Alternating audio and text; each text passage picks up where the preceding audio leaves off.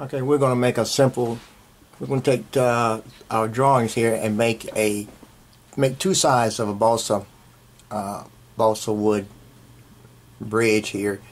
Uh, so you would take your styrofoam base and you're tracing your drawing and cover it with a piece of parchment paper there. You can see, you can see the parchment paper here and the drawing is up under there and I have four pins right here holding the uh, parchment paper or wax paper, what you want to call it, over the uh, our, our drawing here.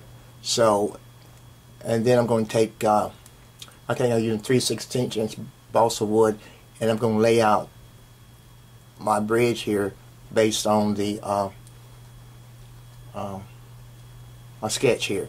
So, this, I'm going to speed it up here a little bit here so uh, but I'm going to construct this side right here but you will construct two sides of the bridge here and you would also use your uh, top and bottom part of the bridge here. Uh, this bridge is upside down here on, on the drawing here but uh, if it was reversed you would see this larger portion would be the superstructure what would be above here and this piece here is the substructure which would be down here. But uh, and then you have the roadbed, which would be, if you had three dimensions, you would see that part. All right.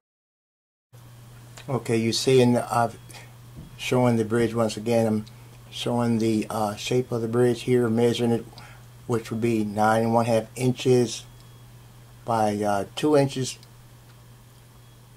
Substructure to one inch, and uh, you space evenly distribute the vertical beams across the top of the beam here okay? Then you would take your plywood, plywood you would take your balsa wood and and lay it uh, directly across the length of the uh, structure there and mark it with a pencil cut it and you lay it down right there and, and use pins to keep it from moving See, I placed the pins at an angle here. Like an X. Okay? So so the so the piece won't move. You're gonna glue it down eventually. But we're just placing these pieces here so uh, you can uh, glue them down later on. So you're to move, uh, cut your pieces and place them over every line. And you see I'm doing that build up the larger frame first, the longer pieces, and then use the shorter pieces for your internal uh, pieces there.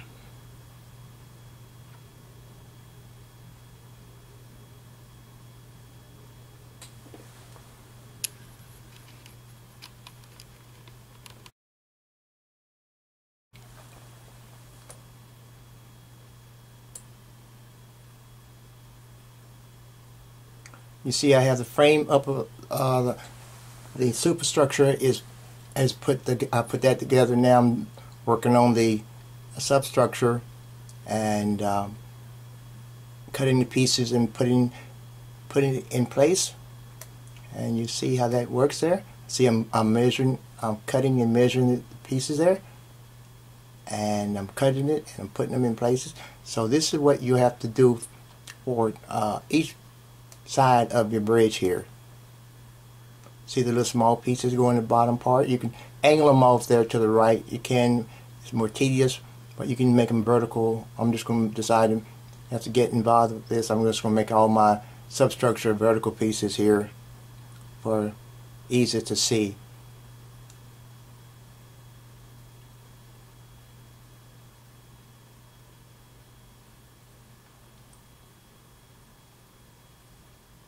See I'm marking each piece here and cutting it with the scissors here or my cutters, whatever you decide to use as a cutter.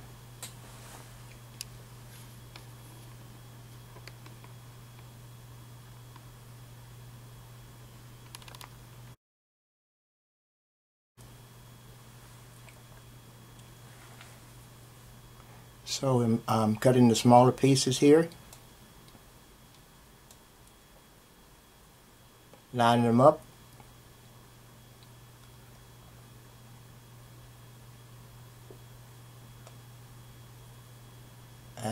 cut several pieces at one time, so try to increase the speed a little bit there. And you see the X there, how I hold a piece in place. I'm, I, nowhere do you see I, I stick the pin into the wood because it will cause the bridge to weaken at that point.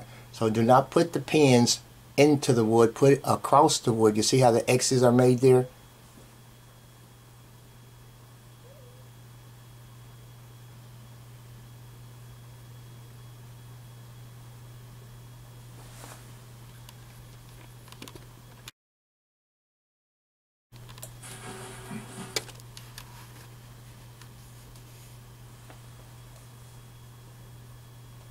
So there you see I turn it around here. Now you can you can see how I've gotten the substructure fixed, and I'm got a little piece of sandpaper there. So um, the the rough edges when I cut the pieces there, make them square so they'll fit. Now I'm doing the vertical pieces across the uh, the sub uh, superstructure, which is the upper portion. So got that all lined up there. I'm putting the see right there where I put the X across the beam there so that it will not move. I do that for all the vertical pieces.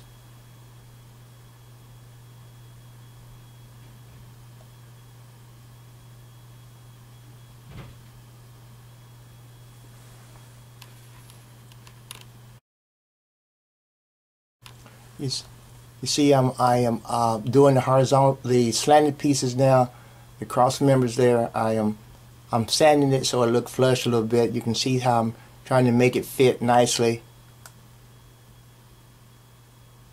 I'm doing it all the way across the bridge. Make the pieces fit nicely because I'm coming back and, and uh, glue those joints in there. Turn it around so you can see there I'm fitting the pieces into the, into the uh, structure there. See, nowhere do you see I'm touching, uh, I'm putting the pins in the wood. I'm putting the pins again across the wood.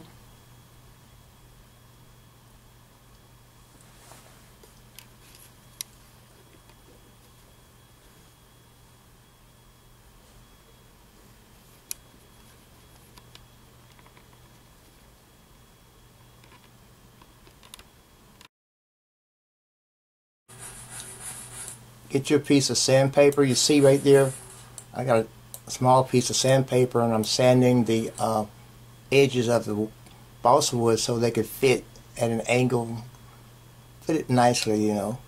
So I got sandpaper.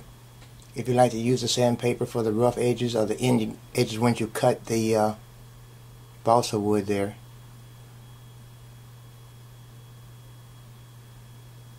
So I did this in about, uh, let's see, I don't know, 30 minutes.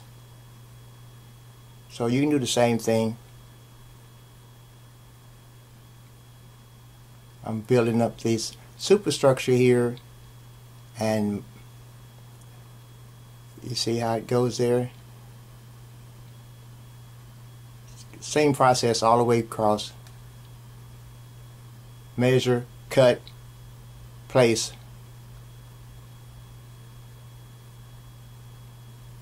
A lot of pins there okay? So the less pins you have the better it is to glue so it won't get in the way so you want to glue the pins to the project. It'll be hard to get them out. And keep the pins away from the joints. You don't see any pins near the joints where I, I the joints what I mean by that are the intersections.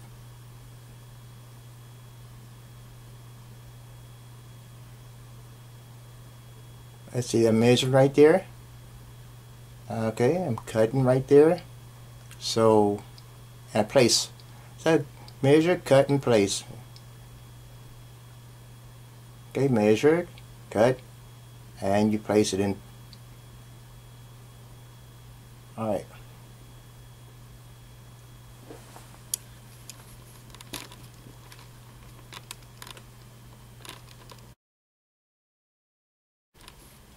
Alright, I've got all the pins in place. Looks like, a, ah, okay, now I'm starting to glue. You see I'm putting the glue in the upper left corner there? I'm putting the glue right there on the joint. There. So put the glue on every joint there, okay? Every joint there, put a drop of glue. Try to make it neat. Don't have glue a, uh, a tsunami of glue there.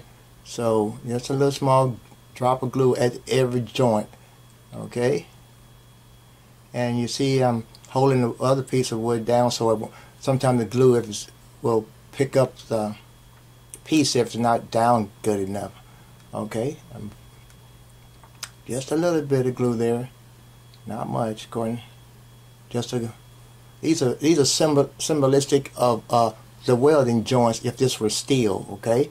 And each piece, and I want you to count the number of joints that you will have eventually, and that tell you the cost of the welding of this project here. If you had to actually make this out of steel, a welder would cost would charge you so much per joint. So that is purpose of the glue. It symbolizes the weld.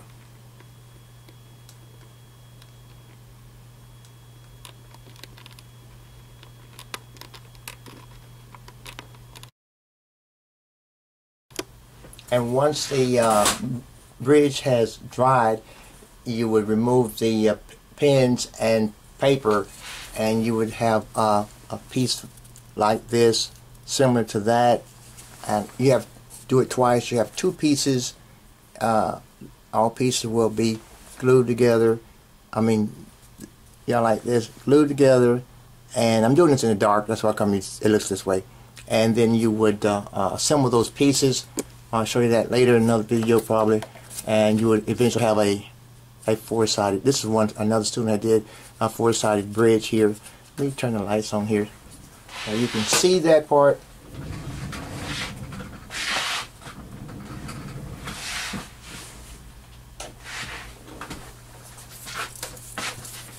There you go. That's that's a, a one side of a bridge there. It's made using that process I just described. There's the other side piece there. And then you would have, you would assemble those pieces into a full structure. This is another one, another student's made. This is not the one that we made though, but the bridge, uh, this is a nice one here though. They reinforced the top there. They reinforced the bottom. Uh, you got the, uh, you got the road bed through there. So this is one uh, extra effort here. But you see the side there, side there, and the side over here there, okay?